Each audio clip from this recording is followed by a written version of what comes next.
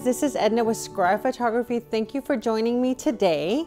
I am going to teach you today how to take your posing from normal, bland, and boring to dynamic and gorgeous and unique. I know a lot of you guys may be here for the first time and I want to give you a little introduction about who I am and what I've done. I am an extensively published photographer in the Orange County and Los Angeles area. I have been shooting professionally for over 30 years. I know, I know I look good. Nah, nah, nah.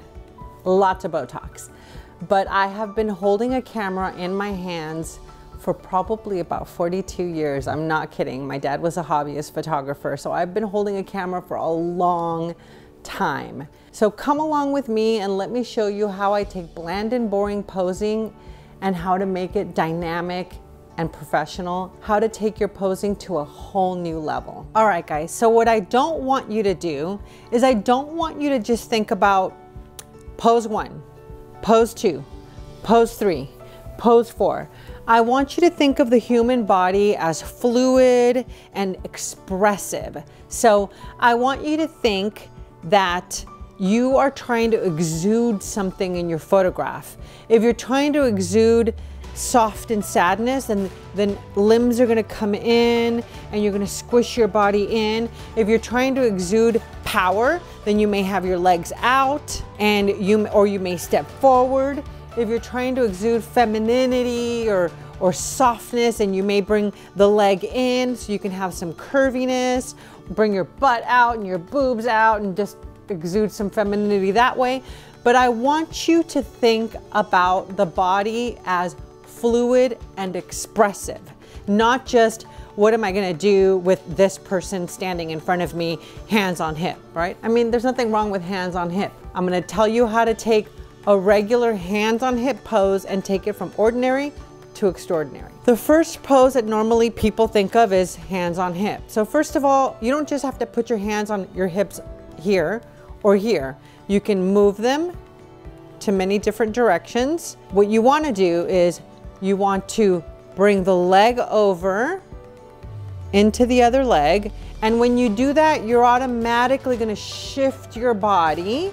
So you're already dropping the shoulder down. When you automatically drop your knee down, your face is gonna wanna turn. So you're gonna hand on the hip, shift the leg over, drop the shoulder, and bring the hand down or the hand down a little bit lower, chin up, and now you've taken standard boring pose to pro pose.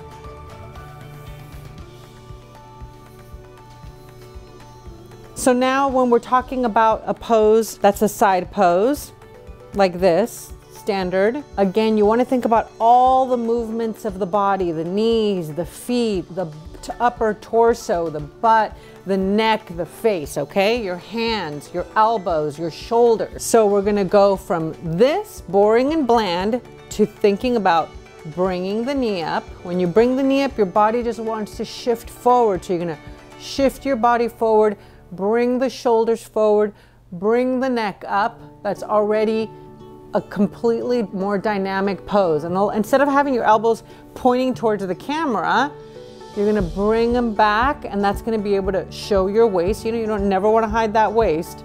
So bring that, the shoulders back, chin up, and now you can bring your hand up and look back behind you. Bring your hand up, pull your hair back. Bring your hand over to your face and even bring the shoulder more exaggeratedly forward or, or even better, look back at me like this, hand up looking back, seducing the camera. Hand on neck, hand up above on the hair, sweeping the hair up. And remember that your hands, your wrists, you can pop the wrist up. You can, the expression on the face, is it sexy? Is it laughing? is it seducing? So the expression, everything from your toes to your ankles to your knees, all the way up, you wanna exude what it is you're trying to say in your photograph. Now, if you wanna do a regular power pose, then hand on hip, but no, instead of just hand on hip, you're gonna, you're gonna shift your weight over and hand can go on the lower part of your hip or the upper part of your hip or up in the hairline.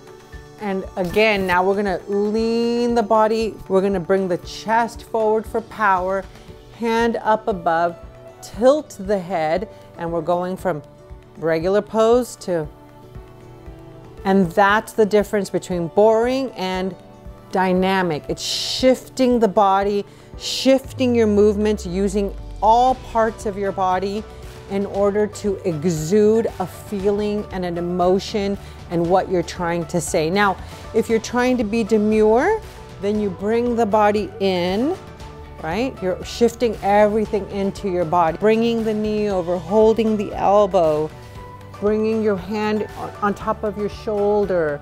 Everything all of a sudden becomes soft and demure. Even bringing everything in this way is like a more soft and demure way of expressing yourself. Now we're gonna go into some sitting poses so I can show you how I would use a chair and how I would sit and take that from normal to pro. So now we're gonna talk about sitting and I have seen plenty of examples of photographers literally just taking pictures of people like this. Literally like this. So this is absolutely the most boring pose that you could possibly do. There is so much fun stuff to do with sitting. So I'm gonna show you the first thing. The first thing is, this is a straight board. If it were me and I were doing something that was straight into the camera, then I would bring the feet out, lean it in, bring my hand up into my chin, and again, this is straight. I would then bring it to the right or bring it to the left, but it depends on the person's body type. That's another thing you have to keep into consideration. If the person is curvier or plus size or full figured, then I would just turn the chair, bring your hip to the edge of the chair, just like this. Extend the legs out because what you want to do is have a length so people don't look squatty. You want length in the photo. So you're gonna extend the legs out. You're gonna bring the top leg forward in the photograph so you get more curve. Bring that arm out just like this. And now you have all this curviness. Now, I would never block the hips by putting my arm out like this. I'd bring my elbow back so that you can see the hip. Bring the elbow back and then you can keep the arm here or you can bring it here or here or here. Play with the hair, turn the head, bring the hands up, from this point, you can do so much. But again, this lengthens and thins out and makes the body curvier.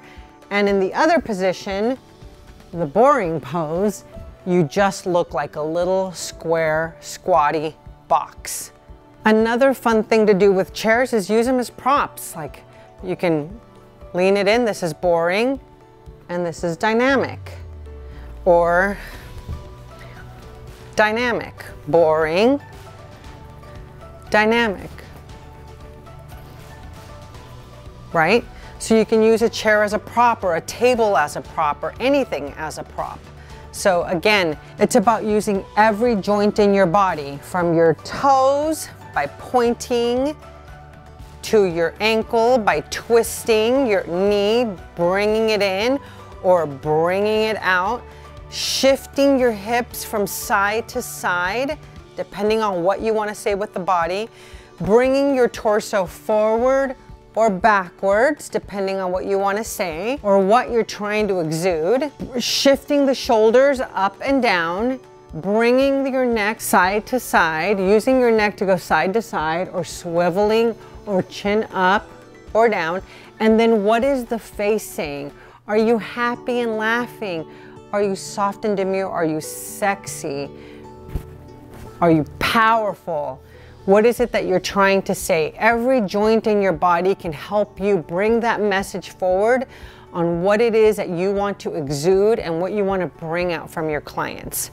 So now I'll use the sofa as an example. So here again, we have another sitting pose. You could be using a sofa or a chair or anything, but this is boring. What I think is really important is making people look comfortable so they're not stiff and robotic. You want people to look like they're comfortable and at ease. So how would somebody be on a sofa, right?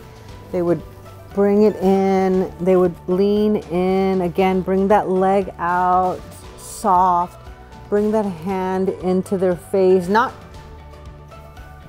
but soft and relaxed, tilt the head, bring the arms back, lay it back, lean in, play with the face, play with the body. There's so much that you can do with the body that exudes different emotions, right? Again, we have power poses, or we have sexy poses, or we have fun poses, right? There's so much that you say just by how you turn the body and what the shoulders do and what your neck does and what your face does is not just about the face and it's not just about the body. It's about using it all to say what it is that you want to say. All right, guys, so I want to talk a little bit about hands because people have a really hard time with hands. And I want to give you a few little hints and tips on what to do with hands and how I think about hands because I think about every little bit of the body as I'm shooting. So the first thing that I think about is triangles, right? So triangle, triangle, right here, right here triangle, triangle, right here, right here. But it doesn't necessarily have to be all the time a triangle, right? Because you could be, again, exuding softness. Then I want to turn and twist and have things opposing, hands that are opposing each other. So when I do couples photography, I'll have them do this and lean into each other, right? He could be behind or she could be behind and you can do something like this. You want to think about what looks natural. Hand on hips can be different methods. You can go snatched hand on hips. You can do one up, one down. You can do uh, both on the hip, soft and relaxed. You can do hands in pockets, hands in pockets this way, hands on belt loop this way. You can do hands in the back of your pockets. So there's a lot of different ways to use your hands. Think about where you could put them. Now, another thing that I like to do is maybe hand on a hip and playing with my hair, looking one direction, looking at another, or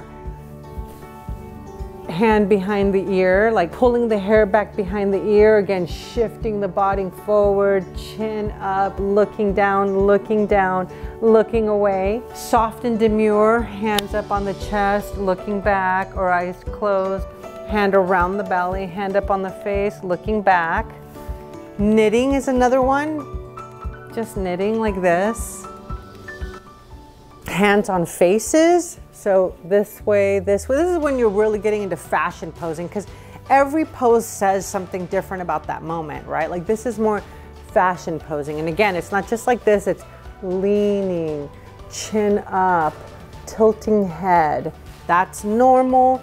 This is pro, right? And again, the other direction like this. Um, I also like to bring the arm around this way and hand up this way. Again, this is a little bit more fashion posing, like this. Again, chin down or chin up. Again, bringing the body forward, looking back, looking at the camera, looking down, eyes closed. You can also bring hands up on the hair. You can also bring hands up on the hair this way.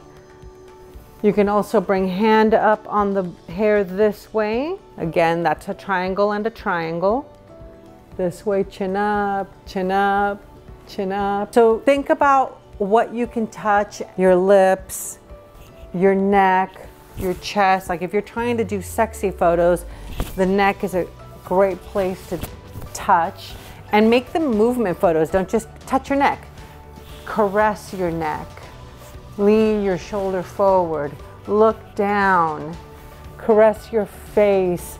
Touch your lips. Breathe out of your mouth. So you can make everything a movement, a flow. Put on some sexy music. Or if you're doing a CEO and you're like hands on hips, power pose, those are different movements. How they're gonna look in their face and you know, maybe a semi squint or eyes wide open or you know, it's not gonna be maybe laughing, maybe they'll be more serious. Remember to turn the body. This is a big one also, guys. So forward, three quarters. So, and again, the other way. You can do half, three quarters, looking back. spinning. So have fun. Don't get nervous, play around, and as you're shooting your client, encourage them. It doesn't mean they're gonna choose that photo and maybe it's not your favorite from behind the camera, but just keep saying, that's gorgeous, that's beautiful, oh, I love it, that's, oh, I love that, this is so beautiful. And then occasionally when they're doing something you like that, you're like, oh yeah, yeah, stay there, do that a little bit more. As you see things that you like behind the camera, encourage your client to move in that direction. Thank you guys for joining me today. I hope you got something out of this. I hope it helped.